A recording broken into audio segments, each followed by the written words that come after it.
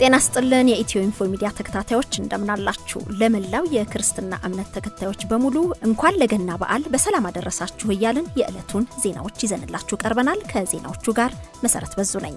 በመጀመሪያም ዋና ዋና ርዕሶቹን በደቡብ ጎንደር ዞን ፎገራ ወረዳ ሶስት እህትማማቾች ሌሊት በተኙበት በቤታቸው በገባ መኪና ሕይወታቸውን አጡ።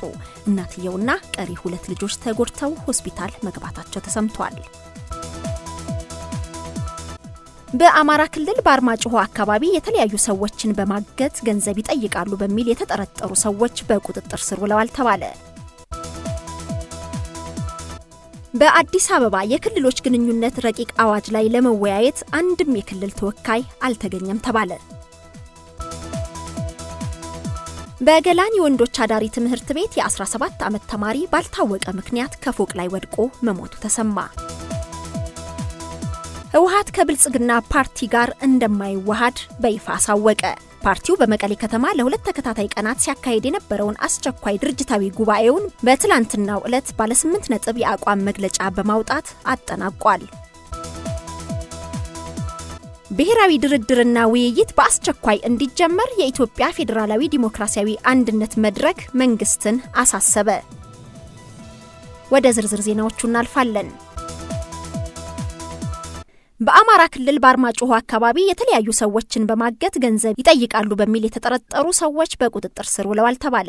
በአርማጭሆ አካባቢ ህጻናትን፣ ሹፌሮችንና የተለያዩ ሰዎችን በማገት ቤተሰቦቻቸውን ገንዘብ በመጠየቅ የአካባቢውን ሰላም አደፍርሰዋል በሚል የተጠረጠሩ ሀምሳ ግለሰቦች በቁጥጥር ስር መዋላቸውን ይፋ ያደረጉት የክልሉ ርዕሰ መስተዳድር አቶ ተመስገን ጥሩነህ ናቸው። አቶ ተመስገን በወቅታዊ ክልላዊ ጉዳዮች ላይ ዛሬ በሰጡት ጋዜጣዊ መግለጫ ላይ በኦሮሚያ ክልል ባሉ ዩኒቨርሲቲዎች በነበረ አለመረጋጋት ከዩኒቨርሲቲ ወደ ቤተሰቦቻቸው ሲመለሱ ማንነታቸው ባልታወቀ አካላት የታገቱ ተማሪዎችን ጉዳይ የክልሉ መንግስት ትኩረት ሰጥቶ እየሰራ እንደሆነ ተናግረዋል። ርዕሰ መስተዳድሩ ስለ ጉዳዩ የፌዴራል ፖሊስ መረጃ የለኝም ቢልም ቁጥራቸው አራት የሚሆኑ ተማሪዎች እስካሁን ማንነታቸው ባልታወቀ አካላት መታገታቸው መረጃ እንደደረሳቸው ገልጸው ይህንኑ ለፌዴራል ፖሊስና ለመከላከያ ሚኒስቴር አሳውቂያለሁ ብለዋል። ፌዴራል ፖሊስ ኮሚሽንና የሳይንስና ከፍተኛ ሚኒስቴር በጋራ በሰጡት ጋዜጣዊ መግለጫ ላይ የፌዴራል ፖሊስ ኮሚሽን በዩኒቨርሲቲ በተፈጠረው ችግር የታገቱ ተማሪዎች ስለመኖራቸው መረጃ የለኝም ማለቱ ይታወሳል።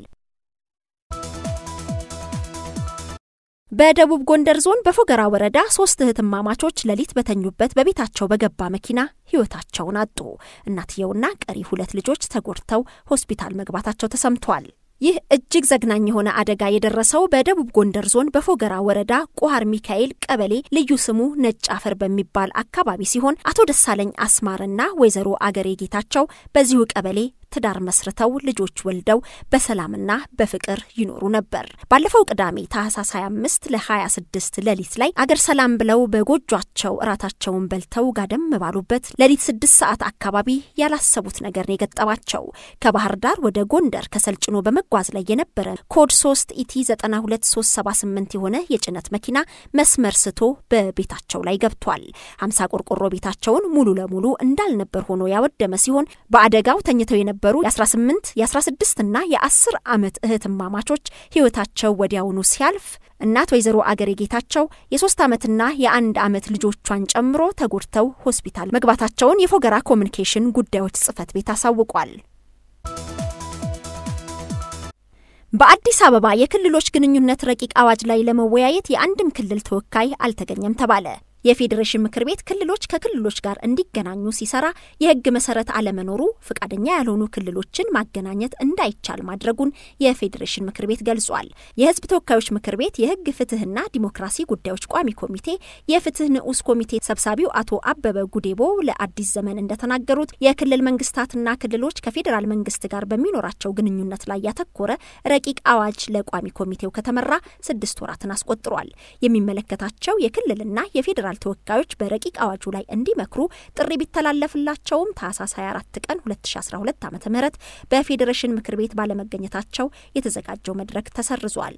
ለሁሉም ክልሎችና ለከተማ አስተዳደሮች ልዩ ትኩረት እንዲሰጡት ጥሪ የተላለፈ ሲሆን ለክልል ምክር ቤት አፈ ጉባኤዎች ሳይቀር በልዩ ሁኔታ ለሁሉም ደብዳቤ የተላከ መሆኑን ተናግረዋል። በተጨማሪም ደብዳቤው ደርሷችኋል በሚል የማረጋገጫ ጥያቄዎች ቀርቦላቸው አንዳንዶቹ እንዳልደረሳቸው ቢናገሩም ደብዳቤው መላኩ ተነግሯቸው እንዲመጡ ተጠይቀዋል።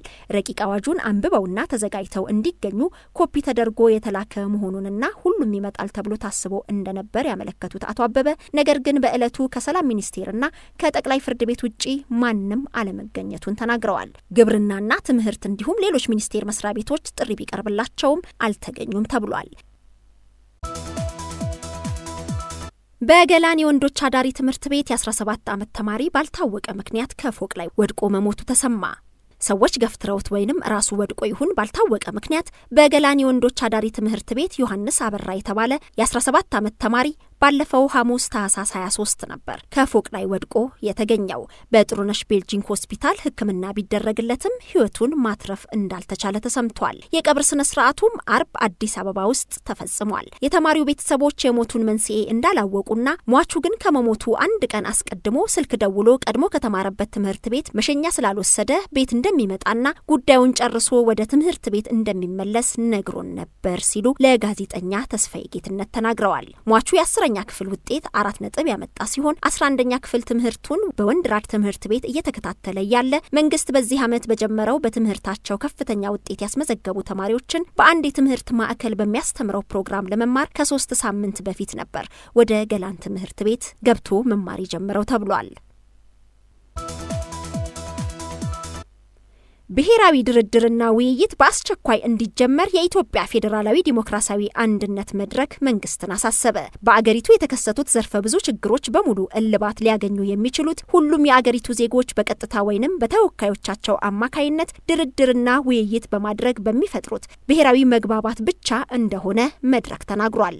ባለፈው አንድ ዓመት ተኩል ጊዜ ውስጥ በአገሪቱ እየተከናወነ ያለው ለውጥ መሰረታዊ እንዲሆንና የአገሪቷንና የሕዝቦቿን ሁለንተናዊ ችግር በሚፈታ አኳኋን ይካሄድ ዘንድ ሁሉንም ባለድርሻ አካላት ያሳተፈ የብሔራዊ አንድነት መንግስት ተቋቁሞ ችግር ፈቺ ብሔራዊ እርቅና መግባባት እንዲካሄድና ብሔራዊ መግባባት እንዲመጣ በተደጋጋሚ ሀሳብ ማቅረቡን አስታውሷል። ነገር ግን በገዢው ፓርቲ ፈቃደኛ አለመሆንና በአንዳንድ ሌሎች ባለድርሻ አካላት ግንዛቤ ባለመውሰዱ ምክንያት ህዝቦች አድማሳቸውን በሚያሰፉ ማህበራዊ፣ ኢኮኖሚያዊና ፖለቲካዊ ችግሮች ምክንያት ፍዳቸውን እያዩ ይገኛሉ በማለት ዳግም ለብሔራዊ እርቅና መግባባት ጥሪውን ማቅረቡን ይፋ አድርጓል። መድረክ ይህንን ማሳሰቢያ አዘል ጥሪ ያቀረበው አርብ ታህሳስ 25 2012 ባወጣው ጋዜጣዊ መግለጫ ነው። ከብሔራዊ እርቅና መግባባት ባለፈም በተለያዩ የአገሪቱ ክፍሎች ስለተከሰቱ ግጭቶች፣ በዩኒቨርሲቲዎች ስላለው ወቅታዊ ሁኔታ እንዲሁም በቤተ እምነቶች ላይ እየደረሰ ስላለው ውድመት አስመልክቶም አቋሙን ይፋ አድርጓል። በዚህም መሰረት መንግስት የዜጎችን ህይወት ያጠፉ ዜጎችን ያፈናቀሉና ቤተ እምነቶች ላይ ጉዳት ያደረሱ ግለሰቦችንም ሆነ ቡድኖችን ለፍርድ እንዲያቀርብና ውጤቱንም ለህዝቡ ይፋ እንዲያደርግ እንዲሁም በከፍተኛ ትምህርት ተቋማት ተማሪዎችን የገደሉ ያስገደሉ እንዲሁም ኃላፊነታቸውን በአግባቡ ያልተወጡ የስራ ኃላፊዎች ግለሰቦችና ቡድኖች ለፍርድ እንዲቀርቡ መንግስትን ጠይቋል። ከዚህ በተጨማሪም መንግስት ህዝቡን ይቅርታ እንዲጠይቅ ለሟች ቤተሰቦች ተገቢ ካሳ እንዲከፍልና ኃላፊነቱንም በይፋ እንዲወስድ መድረክ ጠይቋል። በአገሪቱ የሚስተዋሉ ችግሮች በሙሉ እልባት የሚያገኙት ሁሉም ዜጎች በቀጥታ ወይንም በተወካዮቻቸው በኩል ውይይትና ድርድር በማድረግ በሚፈጥሩት ብሔራዊ መግባባት ብቻ መሆኑን በመገንዘብ መንግስት ጊዜ ሳያባክን ራሱን ለድርድር አዘጋጅቶ ብሔራዊ ድርድርና ውይይት እንዲጀምር አሳስቧል። ህወሀት ከብልጽግና ፓርቲ ጋር እንደማይዋሃድ በይፋ አሳወቀ። ህዝባዊ ወያኔ ሓርነት ትግራይ ህወሀት ከብልጽግና ፓርቲ የዓላማና የመስመር ልዩነት ያለው በመሆኑ ፓርቲው ጋር ውህደት እንደማይፈጽም በይፋ ተናግሯል። ፓርቲው በመቀሌ ከተማ ለሁለት ተከታታይ ቀናት ሲያካሂድ የነበረውን አስቸኳይ ድርጅታዊ ጉባኤውን በትላንትናው ዕለት ባለ ስምንት ነጥብ የአቋም መግለጫ በማውጣት አጠናቋል። በማጠቃለያውም ፓርቲው ባወጣው የአቋም መግለጫ ከብልጽግና ፓርቲ ጋር ባለው የዓላማና የመስመር ልዩነት ምክንያት ውህደት እንደማይፈጽም አሳውቋል። ድርጅቱ ከፌዴራል መንግስቱ ጋር የሚኖረው ግንኙነትም ህገ መንግስቱን መሰረት ባደረገ መልኩ እንደሚሆን ባካሄደው አስቸኳይ ጉባኤ ላይ ባስተላለፈው የውሳኔ ሀሳብ ገልጿል። የአቋም መግለጫው እንዳመለከተው ከህገ መንግስትና ከህግ ውጭ የሚደረገው እንቅስቃሴ ተቀባይነት እንደማይኖረው ጉባኤው መወሰኑን አስታውቋል። ህወሀት ወደ ብልጽግና ፓርቲ የማይቀላቀለው በያዘው ዓላማና የመስመር ልዩነት እንደሆነ በመግለጫው ያመላከተ ሲሆን ኢህአዴግን የመሰረቱት አራቱ ድርጅቶች የነበረው የጋራ ሀብት ህግና ስርዓትን ስርዓትን በተከተለ አግባብ እንደሚያስመልስም በመግለጫው ገልጿል። የትግራይ ህዝብ ህልውናና ጥቅምን ባስጠበቀ መልኩ በሰላማዊ መንገድ ከሌሎች ህብረ ፌዴራላዊ ኃይሎች ጋር በፎረም በጥምረትና በግንባር ደረጃ በስትራቴጂያዊ ግንኙነት አብሮ ለመስራት መወሰኑንም በመግለጫው አመላክቷል። በአገሪቱ እየታየ ያለው የውጭ ኃይሎች ጣልቃ ገብነትን ተከትሎ በኢትዮጵያ ህዝብ ላይ ለሚደርሰው ጉዳት የውጭ ኃይሎች ኃላፊነቱን መውሰድ እንደሚገባቸውም በመግለጫው ተገልጿል።